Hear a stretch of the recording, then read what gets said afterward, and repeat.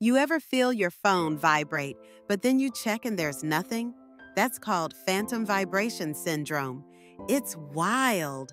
Your brain is so wired to expect a message that it literally hallucinates the buzz. It's like your phone is playing tricks on you.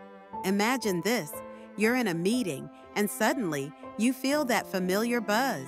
You whip out your phone, and surprise, no notifications.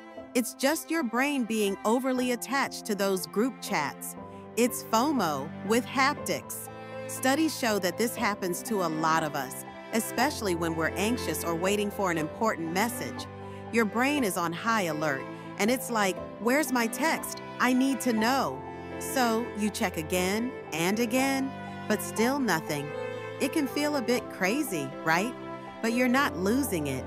It's just your mind playing a little game. Next time you feel that phantom buzz, remember, it's just your brain's way of keeping you connected, even when there's nothing to connect to.